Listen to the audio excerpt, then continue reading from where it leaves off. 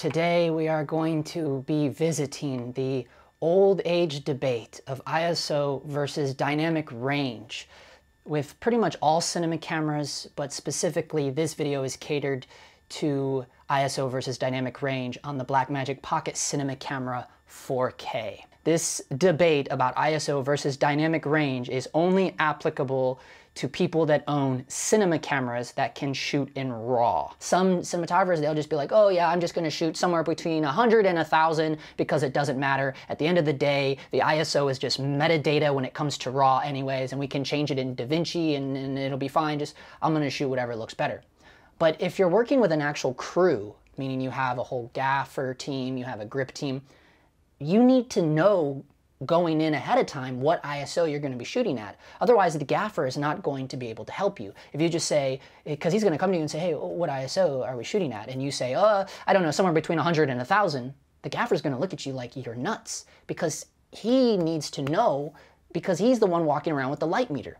So it is super beneficial to know this stuff ahead of time. And then another uh, DP responded to me with a very awesome article from the ASC. If you don't know what the ASC is, that is the American Society of Cinematographers, right? And this was a post on their Instagram that came out a year ago.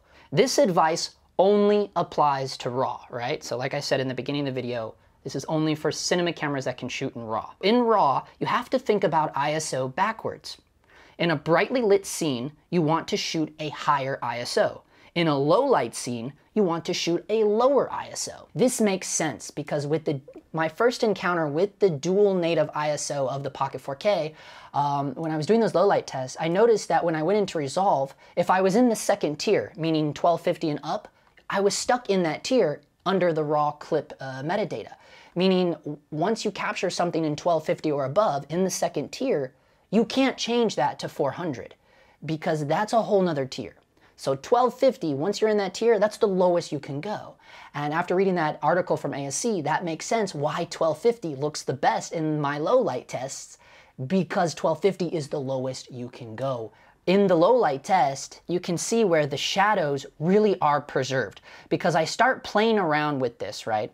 And in the low light test, I recorded the same exposure, same set, at 400, 1000, 1250, and 3200, right? And obviously the 1000 looks the worst, just looks like garbage.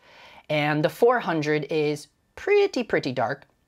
And then when we jump to 1250, it looks very clean, but then also I record at the second dual native ISO, which is 3200.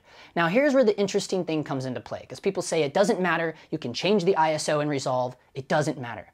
But here's where it does matter, because you are affecting what dynamic range is captured on the day. You can't get the dynamic range back, right?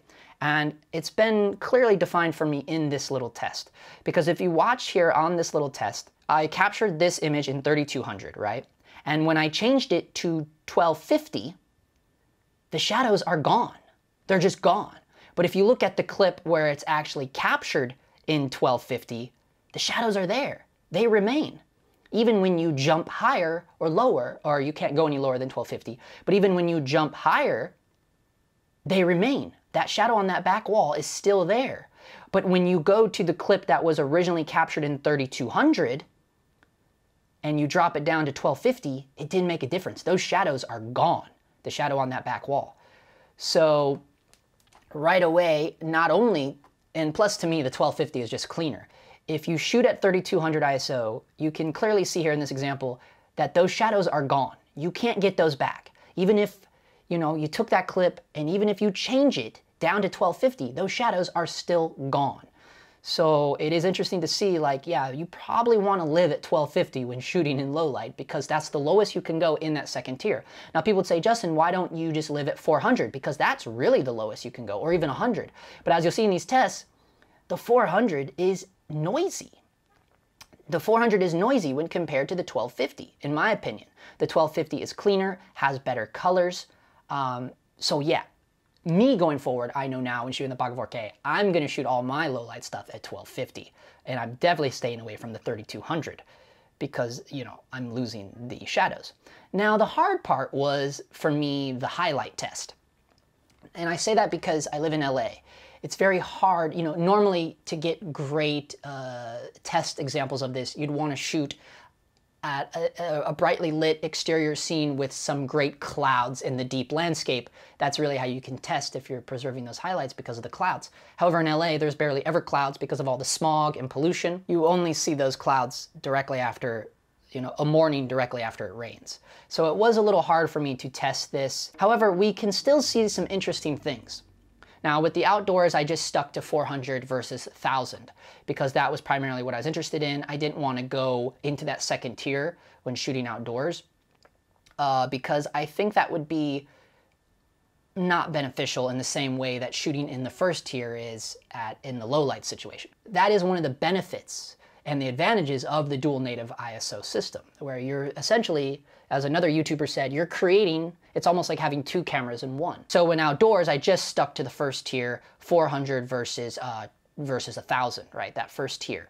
But the interesting thing started happening when I got on the, on the clip that was recorded in 1000 ISO, and I started, and I dropped it down to 400, and we actually preserved those highlights as you'll see in this example here, the highlights were preserved much better than in the 400 ISO captured setting, right? You can see on the RGB parade there where the highlights are preserved. They're not as peaking high up as they were on the clip that was captured in 400. So you are preserving those highlights when shooting in 1000, and then if you get in post and you want to drop it down to 400, it's looking the highlights are being preserved better than they were when it was originally caught in 400 ISO. Holy crap, that is one hell of a, of a rabbit hole. A very interesting find, especially with the outside stuff. That goes against everything I've ever been taught and learned. You know, you want to you want to shoot it low, right? I, I would always go out and shoot at the 400 ISO. I would never dream of putting it at a 1000. It's just so interesting but you don't really see the differences until you get into Resolve and start looking and dissecting and picking apart, you know, under that uh, camera raw tab, you know, and you can really start digging around in there and really seeing like, oh, the 1000 ISO is preserving these highlights. And you don't know it until you drop that clip down to 400 ISO and you compare it to the clip that was captured in 400 ISO. And then you can start to see the differences there. And the same for the low light. The low light was way more obvious because we actually had shadows and things that we could see that were just disappearing at the higher ISO. My conclusion is I think all day exteriors, I think maybe I will live at 1000 ISO to preserve those highlights. For all super low light situations, I think I'm gonna live at 1250 to preserve my shadows. And for everything else, where I am in 100% complete control of the lighting, I think I'm just gonna stick to the good old 400 native ISO. Because also if you look there on the Blackmagic Design Raw Dynamic Range chart, you can see essentially that chart is telling us no matter where you go, it's you are still getting the same stops of dynamic range, right?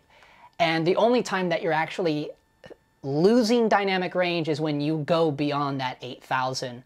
And there you can see on the chart, it drops. It just, it just plummets, it drops down. That's just me, I don't know. Leave your, uh, your thoughts and comments down below. Let me know what you guys think about it. I know this is a long, heated debate, but very interesting stuff. If you're interested in any of my filmmaking gear as an independent filmmaker, check out my kit bag down in the description below. All the gear I use is in there.